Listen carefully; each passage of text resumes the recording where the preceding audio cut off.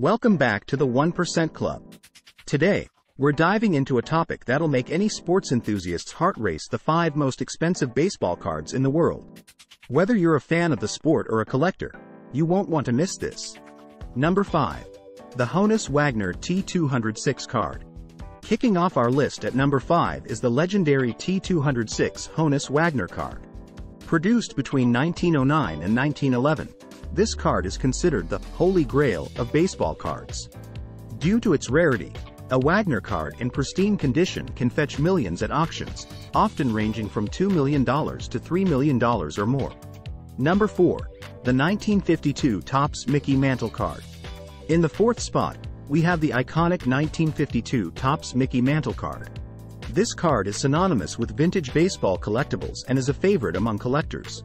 Its value has surged in recent years, making it one of the most sought-after cards in the hobby.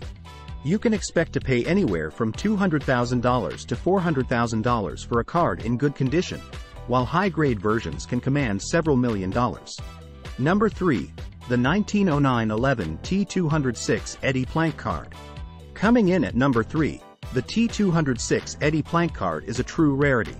Eddie Plank was one of the most revered pitchers of his time, and his card is equally esteemed. Only a handful of these cards are known to exist, making it a valuable addition to any collection. Prices for AT206 Eddie Plank card in excellent condition can range from several hundred thousand dollars to over a million dollars. Number 2. The 1909 T206 Joe Doyle, NY Nattle, variation. At number 2, we have a unique variation of the T206 Joe Doyle card. The NY Nattle variation is an error card and is extremely scarce. This mistake adds an extra layer of intrigue for collectors, which drives up its price.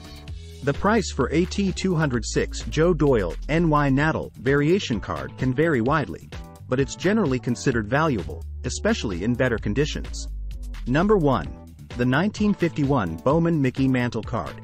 And finally, in the top spot, we have the 1951 Bowman Mickey Mantle card. Mickey Mantle is one of the most iconic names in baseball history, and his cards are highly sought after. The 1951 Bowman card is particularly valuable, especially in mint condition.